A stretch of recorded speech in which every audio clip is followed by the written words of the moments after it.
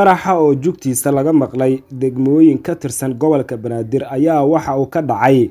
Agagarka dugsiga sare ee banaadir oo ku yaalla inta u dhexeysa isgoyska tarabuunka iyo madaxtooyadii hore cabdiqaasim salaad xasan qaraxa oo wararka qaar ay sheegayaan inuu ahaa gaari waddada dhinaceeda la dhigay ayaa waxaa ka dhashay khasaare dhimasho iyo dhaawac xilliga uu qaraxa dhacayay goobta waxay ahayd mid mashquul badan waxaana taagnaa gaadiid bas ah. Dhanka kale wararka aynu helayna ayaa waxa ay sheegayaan in qaraxa uu ahaa gaari laga soo buuxiyey walxaha qarxa kaas oo lagu dhiftay mid ka mid ah gaadiidka qufulan ee ciidamada amisom waxa uuna geystay khasaare fara badan.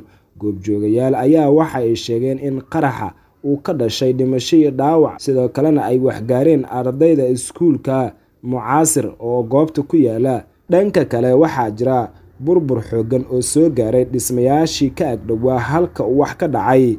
Mukhtaar cabdi aadan ariel t v muqdisho.